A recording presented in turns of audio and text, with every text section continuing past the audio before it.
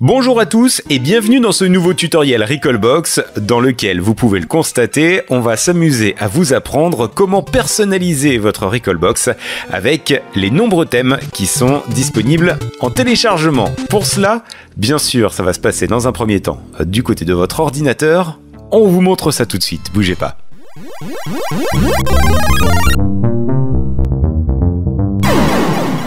Alors dans un premier temps, on va ouvrir le navigateur internet et on va cliquer sur le lien en descriptif de la vidéo. On va prendre comme exemple le thème que vous avez pu voir en introduction de ce tutoriel. Il en existera d'autres hein, d'avenir, rassurez-vous. La simple chose par contre qui est très importante à noter, c'est qu'il faut bien sûr que le thème soit déjà compatible avec la version de votre Recallbox que vous utilisez. C'est très important dès lors que vous changez de version de Recallbox de vérifier que votre thème a bien été optimisé, donc de ne pas réutiliser des anciens fichiers. On va cliquer directement sur Download. Et là, vous allez voir qu'il y a pas mal de versions différentes.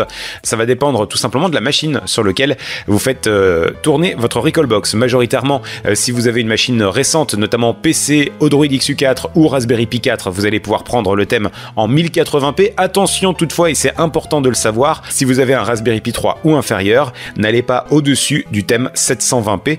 Euh, ne croyez pas que c'est pour vous embêter, c'est simplement parce que vous allez exploser la consommation de mémoire et vous risquez véritablement d'avoir des instabilités au niveau de votre matériel. Donc Raspberry Pi 3 et inférieur 720p, Raspberry Pi 4, Odroid XU4 ainsi que les versions PC en 1080p. Une fois téléchargé, je vais vous inviter à éteindre euh, votre Recallbox, bien que vous puissiez passer par le réseau, mais maintenant c'est quand même beaucoup plus facile. Bien sûr, vous prenez le support sur lequel vous stockez vos jeux. Si vous stockez sur micro SD, prenez la carte micro SD. Si vous stockez sur USB, prenez le support USB. Une fois branché à votre ordinateur, vous allez avoir la partition Share qui va s'ouvrir dans le cadre d'une carte micro SD ou sinon votre support USB, vous allez dans Recallbox et vous voyez tout de suite qu'il y a un dossier thème. Que faire ensuite? Tout bêtement, vous ouvrez le fichier zip que vous avez téléchargé, le dossier d'un côté, le fichier zip de l'autre, et vous n'avez qu'à l'extraire.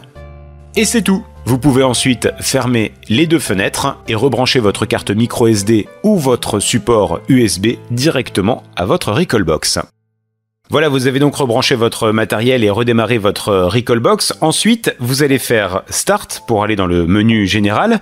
Vous allez dans les options de l'interface. Vous allez dans les options du thème et vous allez pouvoir choisir dans le thème Recallbox Next qui est le thème par défaut, mais maintenant vous avez aussi la possibilité de choisir le thème que vous avez pu voir en introduction de ce tutoriel, vous fermez et à ce moment-là l'interface d'émulation station se ferme et se relance automatiquement en chargeant votre nouveau thème. Alors il y a quand même plein de petits paramétrages que vous allez pouvoir faire pour pouvoir personnaliser ça au mieux. Toujours en appuyant sur Start dans les options de l'interface et les options du thème, vous allez pouvoir bien sûr garder l'animation du bandeau. N'oubliez pas que un carrousel comme ce thème-là préfère une transition en instant plutôt qu'un fade ou un slide. Après, c'est au goût de chacun. Et dans les configurations du thème, vous avez donc la possibilité aussi de retrouver les différents menus que vous aviez euh, jusqu'à présent. Ça, c'est vraiment au goût de chacun. Ça se passe là-dedans. Vous avez encore tout un tas de paramétrages que vous allez pouvoir faire. Dernier petit paramètre également à savoir sur ce genre de thème, ils incluent généralement une musique par défaut par système et ça a pour effet à chaque fois que vous changez euh, de système et que vous le faites défiler dans votre écran de faire apparaître un pop-up de lecture musicale. Vous pouvez bien évidemment le désactiver en allant directement dans votre menu principal, option de l'interface, réglage des pop-up et au niveau de la musique, vous pouvez vous mettre sur 0 secondes et à ce moment-là vous verrez que votre musique changera bien à chacun des systèmes que vous survolerez dans le menu général, mais vous ne serez plus embêté par le pop-up d'affichage de la musique qui apparaît normalement en haut à droite. Voilà, c'est tout pour aujourd'hui. J'espère que ça aura répondu à quelques-unes de vos questions. N'hésitez pas également à faire vos retours et vos commentaires bienveillants auprès de tous les créateurs de thèmes euh, qui vous fournissent du contenu de très grande qualité et n'hésitez pas aussi à les inviter à les maintenir à jour puisqu'il y a beaucoup de thèmes qu'on aimerait bien voir compatibles avec la version 7 de Recallbox. Voilà, c'est tout pour aujourd'hui. Petit tutoriel assez sympa parce que je suis persuadé que ça va dépoussiérer un petit peu votre Recallbox. Voilà la possibilité qu'il y a avec ce thème. Il y en existe plein d'autres. On vous laisse chercher ça sur internet. On vous embrasse bien fort. On vous souhaite de passer de très bonnes parties rétro gaming avec Recallbox et on se retrouve très vite. À bientôt.